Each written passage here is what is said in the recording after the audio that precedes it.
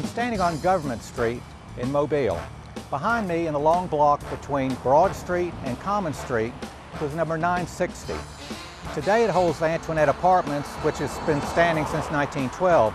But back in 1896 it was rating postcard views of the house that stood there before that, a grand raised mansion that was suddenly the home of Augusta Evans Wilson. Mrs. Wilson was an extremely wealthy woman at this point. She'd married a very wealthy grocer named Lorenzo Madison Wilson, and they had lived at Ashland between Springhill Avenue and Old Shell Road until his death in 1891. By 1896, Miss Augusta thought that house was too big for her and too isolated, so she sold it and moved to number 960 Government Street.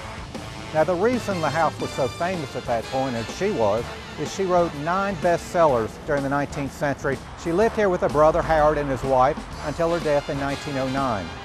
At her death, her estate, which was sizable, was distributed between the Mobile Infirmary, which was built a year later, and the St. Francis Street Methodist Church. The house survived until 1911 when a local developer bought it and tore it down to build what was considered as Mobile's first luxury apartment building, the Antoinette, which still fills the site today.